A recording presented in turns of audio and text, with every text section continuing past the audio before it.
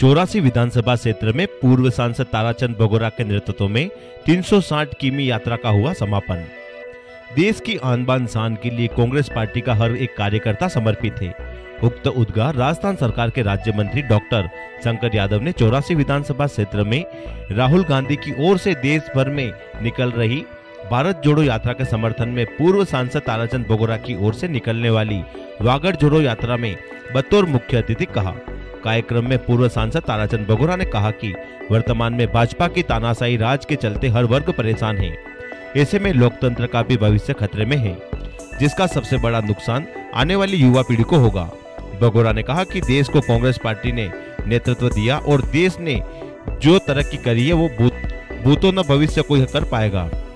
इसलिए भविष्य को सुरक्षित रखने के लिए देश को कांग्रेस पार्टी को आने वाले समय में समर्थन देकर आगे लाना पड़ेगा। कांग्रेस पार्टी के राष्ट्रीय नेता राहुल गांधी की ओर से देश भर में भारत जोड़ो यात्रा निकाली जा रही है। उसके समर्थन में चौरासी विधानसभा क्षेत्र में अखिल भारतीय कांग्रेस पार्टी के पूर्व सचिव एवं पूर्व सांसद ताराचंद भगोरा द्वारा वागड़ जोड़ो यात्रा निकाली गई, जिसका मंगलवार देर शाम को समापन हुआ। तीसरे चरण की यात्रा के दूसरे दिन मंगलवार को यात्रा करावाड़ा से शुरू हुई, जो गड़ा वाटेश्वर नानोड़ा, दम्बोला, सिमरवाड़ा होते हुए पीठ स्थित अति प्राचीन महादेव मंदिर में पीठ सलारेश्वर पहुँची जहाँ पर वागड़ जोड़ो यात्रा का समापन हुआ।